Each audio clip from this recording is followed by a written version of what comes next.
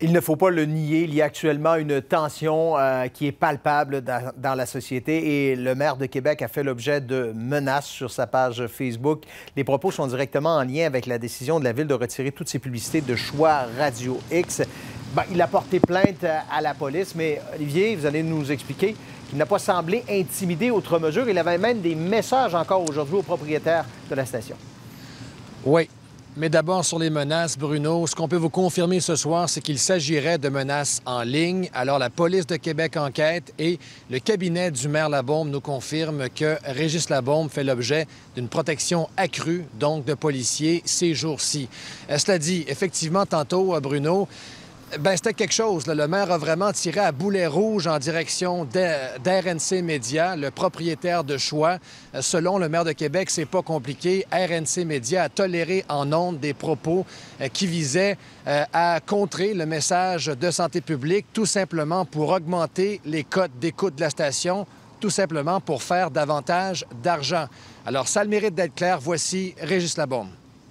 C'est plus des farces. Ces propriétaires-là ont permis à leur organisation de faire ça. Et si vous me demandez si on va investir encore chez eux, la réponse c'est non. On sait jusqu'où ils sont capables d'aller, puis jusqu'où ils sont prêts à aller pour faire de l'argent. Et c'est pour ça qu'on ne mettra plus d'argent.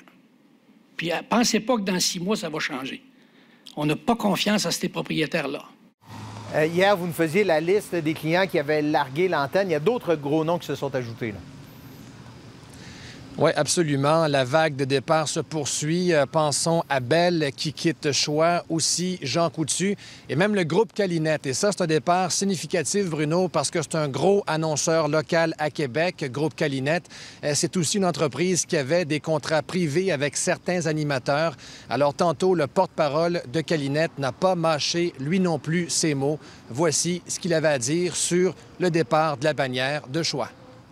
Je vous dirais que chez Calinette, à la lumière d'une somme de propos, de commentaires, d'entrevues qui ont été accordées qui allaient dans une direction euh, que nous trouvions pour le moins inquiétante, euh, on se demandait si euh, on ne faisait pas un appel à la désobéissance civile.